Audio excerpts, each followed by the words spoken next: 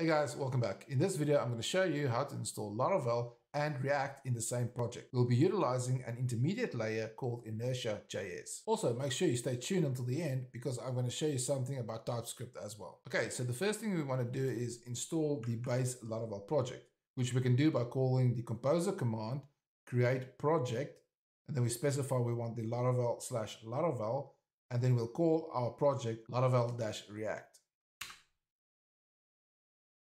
Okay, now that the base Laravel project has been installed, we can go ahead and change into the project and then install Laravel Breeze. Now, Laravel Breeze is the basic scaffolding for a Laravel project.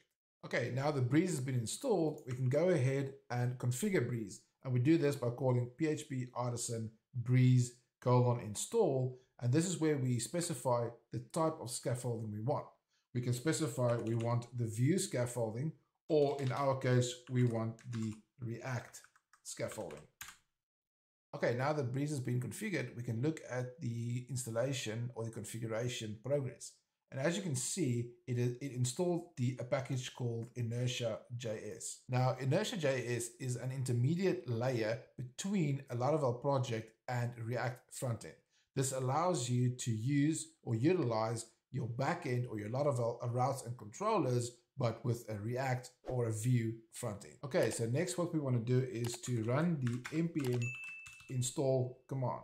Now, as you can see, it specifies that you can run the install and the npm run dev at the same time, but I prefer to do it individually.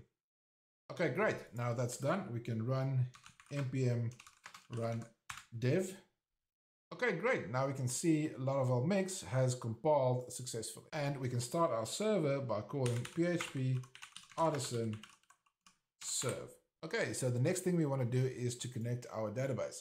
I've set up one already, so I'll just fill in the required details. We can save our env file and then run php artisan migrate.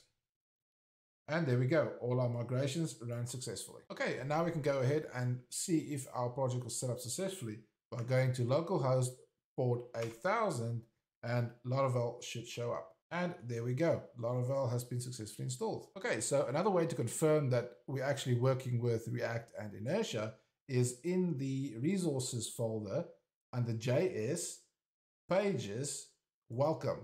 This is the welcome page we're seeing right now. So we'll just search for documentation. And then what we'll do is we'll just change something on the page to make sure that it's working. And you can say, we've edited this page.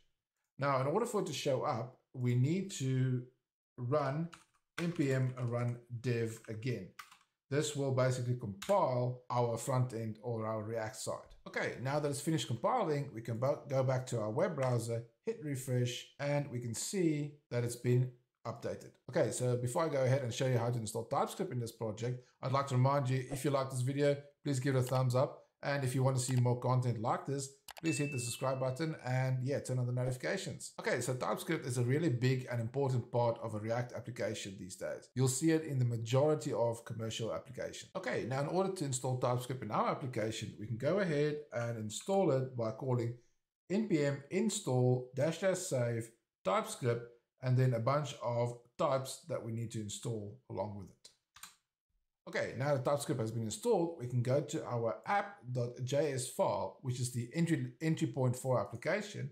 We can go ahead and we can say rename, and then instead of app.js, we'll make it app.tsx. Okay, now you'll see there's a red squiggly line under this JSX, and it says that you cannot use JSX unless the flag is provided.